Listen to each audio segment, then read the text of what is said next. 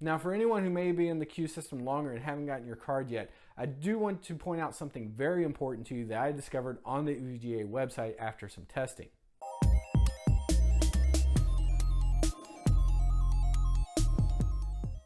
Alright guys, I'm Joe, this is PinkyTech, I'm to jump right into it here. So how does the queue system work?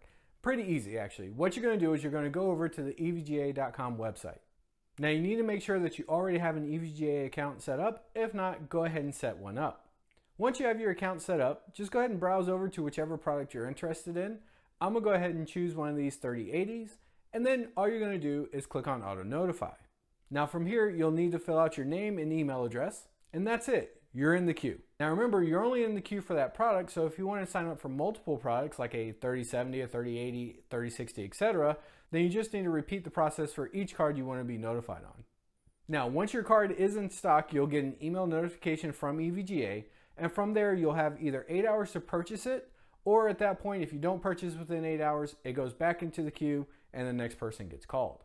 Pros and cons, guys. So for the pros, you're in line without waiting in line. It's not like the Newegg Shuffle where everyone just goes and joins in. Maybe you get called, maybe you don't, then you have to sign up for the next shuffle. You're just in line and all you have to do is, well, wait.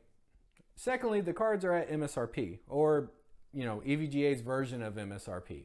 So there's only the card, tax, and shipping. That's it. No extra markup from scalpers or anything like that. Another pro is you don't have to fight bots, so this isn't a drop where everyone can just go in and pick it. This is actually basically a card reserved for you to purchase. And lastly, unlike the Newegg Shuffle, there are no other parts bundled with your purchase here. So you don't have to buy a useless motherboard or power supply or whatever it is that Newegg is trying to hustle with the other graphics cards now. Um, I know Newegg Shuffle does occasionally have just the part that you want, but pretty much by and large, you're buying at least two products, which is another hundred and something dollars over the price of an already pricey graphics card. As for cons, you are stuck with only one graphics card per purchase, and maybe that's not really a con, but maybe you're trying to do an SLI with two 3090s. Uh, sorry, you only get one card. Secondly, this is the EVGA queue system, so you are limited to only EVGA cards. So if you wanted an MSI card or some other card, an Asus card, a ROG card, etc., you're not going to be able to purchase those through the queue system. So you are limited to just EVGA stock on EVGA products.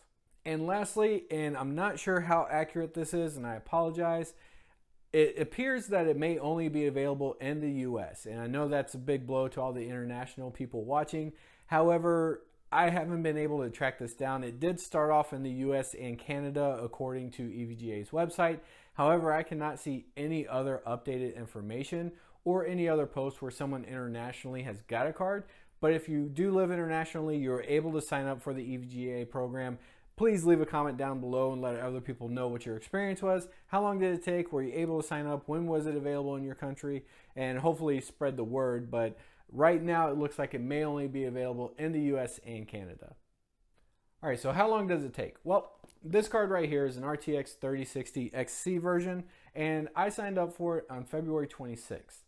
I got the call in May that my card was ready, and it took about a week to get shipped because I took the cheapest option there. So you're looking at about 60 days, give or take, from signing up in the queue to actually having the card.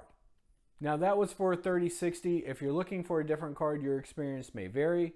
In an exchange I had with TechFTP, see his channel down below, I found out that he signed up for a 3070 back in December of 2020, and he's still unfortunately waiting for that 3070. Now my guess is there's probably less silicon available for the 3090s, 3080s, the higher end cards, and so the lower end cards like the 3060, the 3060 Ti may be easier to come by, and so you may be able to get those quicker. Now for anyone who may be in the queue system longer and haven't gotten your card yet, I do want to point out something very important to you that I discovered on the EVGA website after some testing. You do have to make sure that the account email that you use to sign up for your account matches the email address that you put in for the notifications. If not, it will look like that your notification went through and that you're in the queue. You will actually get an email from EVGA saying that it is in the queue. However, if you check your notifies, you will see that it's not listed anywhere for your notifications and you won't actually be in the queue to get that card.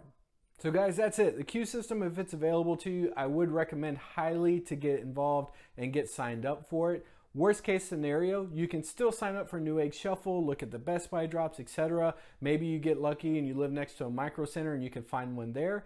But definitely sign up for the queue system. It is a fantastic backup uh, for especially for those of us who work a lot and you can't always get out or can't always be available for these drops when they happen. All right, guys, if your experience was different than mine, please sound off in the comments down below. If this video helped you out, make sure you leave a like and subscribe to the video. If the video didn't help you out, hit the dislike button, but you should have done that already. And as always, guys, I appreciate you watching, and I'll see you in the next video.